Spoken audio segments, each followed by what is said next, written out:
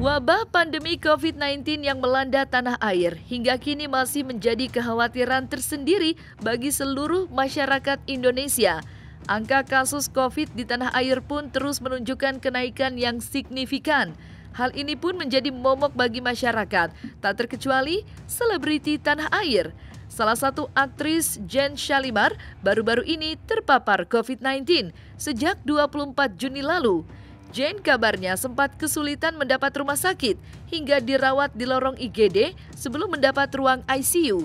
Ibu satu anak itu dikabarkan sempat mengalami masa kritis hingga dikabarkan dipasangi ventilator untuk membantu pernafasannya. Tadi malam uh, kritis karena oksigennya tuh sampai 70 normalnya kan 95 ya. Seperti itu. Nah, lalu dibawa ke rumah sakit uh, Fatmawati. Sampai di rumah sakit Fatmawati dia tidak dapat uh, ruangan, oksigen juga nggak ada.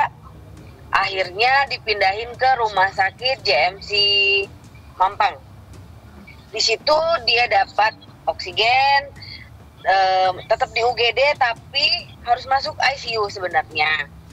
Tapi karena memang waiting list masih 70 orangan ya. 70 orangan waiting list jadi belum bisa masuk ICU. Uh, eh, akhirnya sekarang masih di UGD. Dia itu positif COVID ya.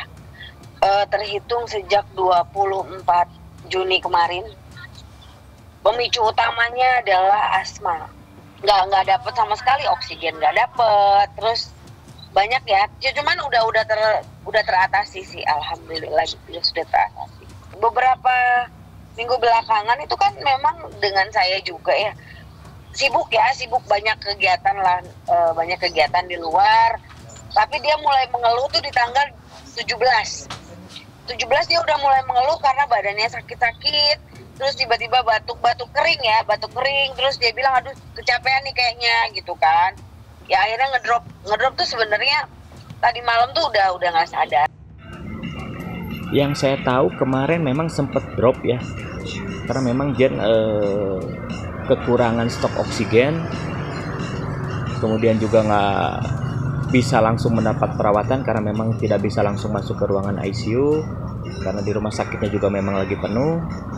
Tapi setelah saya coba komunikasi dengan Jarno Alhamdulillah kondisinya sudah agak baikan. Kemudian juga pasokan oksigennya sudah juga sudah mulai ada. Kemudian juga sudah mulai mau masuk uh, ruangan ICU kalau nggak salah kemarin itu ya Perjuangan Jane untuk bebas dari paparan COVID-19 memang bukanlah hal yang mudah. Pasalnya, ia juga mengidap penyakit asma yang telah dideritanya cukup lama. Meski penyakit asma berangsur membaik, namun Jen masih merasakan sesak nafas. Kalau asma kan sudah lama ya, asma sih sudah lama. Uh, cuman memang seminggu sebelumnya itu kan udah di, dia tuh udah dirawat. Minggu sebelumnya tuh uh, tanggal 19 tuh dia udah dirawat, tapi tetap di UGD, terus dia pulang. Pulang karena ngerasa kalau di UGD ya nanti uh, ketularan dong gitu loh dia bilang. Cuman belum belum tes PCR-nya belum keluar. Tanggal 24 baru keluar bahwa positif gitu. asmanya sudah membaik karena disuntik dan tapi kok uh, sesaknya kondisi sesak masih. Positif. baik baik alhamdulillah baik. Jarno negatif cuman adiknya dua-duanya positif gitu. Si Adi sama Karina Karina itu adik kandung kalau Adi itu uh, adik ipar ya itu positif juga. Jadi yang di, jadi yang sekarang rawat Jen itu ya Adi gitu adik iparnya. Hmm, okay. karena Karinanya kan punya anak kecil Sejak menjalani perawatan di ruang ICU, kondisi Jane pun terus naik turun. Kondisi pernafasannya yang belum maksimal membuat Jane masih dibantu dengan alat pernafasan ventilator. Walaupun telah melewati masa kritisnya, Jen sendiri kabarnya belum bisa banyak bicara. Dan inilah dukungan sahabat dan keluarga terdekat untuk kesembuhan Jen Shalimar. Progres alhamdulillah karena dibantu dari berbagai pihak. Alhamdulillah sekarang mulai sadar walaupun belum bisa komunikasi ya. Walaupun belum bisa komunikasi udah sadar gitu. Tapi belum uh, belum naik ya. Masih di 80-an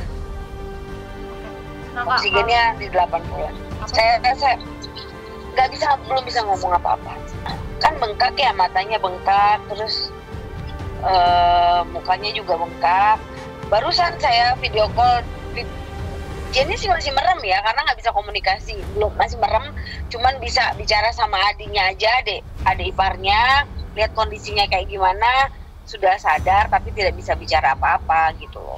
Dan sebenarnya harusnya tuh dokter bilang memang masuk ICU karena eh, uh, 70 ya 70 naik turun naik gitu. Paling tinggi 80 berharap cepat sembuh minta doanya dari semuanya. Yang penting uh, kuat ya. Kuat lah ya semua zaman pandemi ini kan memang kita perlu waspada dan covid ini nggak hoax gitu loh beneran ada gitu kan. Karena orang-orang terdekat juga ngerasain gitu ya. Cepat sembuh aja buat Jen Salimar. Kita semua dukung dan kita semua sayang itu aja. Doa saya untuk Jen yaitu tadi semoga Jen cepat sehat semoga Jen cepat pulih semoga juga imunnya terus naik supaya cepat-cepat keluar dari rumah sakit supaya cepat-cepat lagi bisa beraktivitas seperti hari-hari sebelumnya sehat walafiat. Eh, itu mungkin doa saya untuk Jen